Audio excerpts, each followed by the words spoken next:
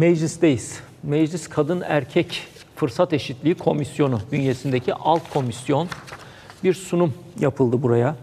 Sosyal Güvenlik Kurumu uzmanı bir sunum yaptı. Şimdi ben haberi karıştırdığım için bulmaya çalışıyorum onu. Şöyle ben Burada sana alayım. edeyim. Teşekkür ederim. İlginç bir öneri gelmiş Sosyal Güvenlik e, Kurumu uzmanından bu sunumda. Babalarda günlük en az bir saat emzirme izni verilmeli dedi. Babalara bir saat emzirme izni. Hadi bakalım.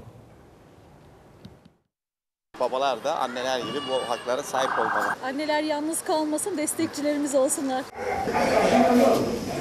Babalara da günde en az bir saat emzirme izni verilsin. Öneri meclis komisyonunda sosyal güvenlik uzmanından geldi. Hatta daha uzun süre verilmeli annelere yardım etsinler diye. Olur da yani babalara süt izni biraz komik geldi bana.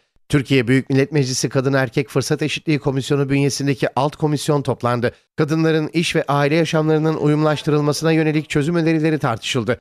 Komisyona sunum yapan SGK Sosyal Güvenlik uzmanı Nilüfer Atagün'den çarpıcı bir öneri geldi. Sloganlarımızdan bir tanesi babaların da babalık yapmaya hakkı var. Çocuklarıyla güvenli bağlanma dediğimiz şeyi yaşamaya hakkı var. Babaların da emzirme izninden en azından bir saat olarak yararlanmaları, bakım izni olarak geçmesi gerektiğine inanıyoruz. Onlar da çocuklarıyla vakit geçirmek istiyorlar. Zaten haddinden fazla izin kullanıyoruz. daha çok ekstra yük olmuş oluyor. O yüzden bence onlar çalışmaya devam etsinler. Sadece anneye yüklemek çok mantıklı gelmiyor bana. Sosyal güvenlik uzmanı Atagün, özel sektörde çalışan babanın 5, kamuda çalışanınsa 10 gün babalık izni kullanabildiğine de dikkat çekti. Babalık izninin 2 haftaya, ücretli annelik izninin de 16 haftadan 24 haftaya çıkarılmasının iyi olacağını düşünüyoruz dedi.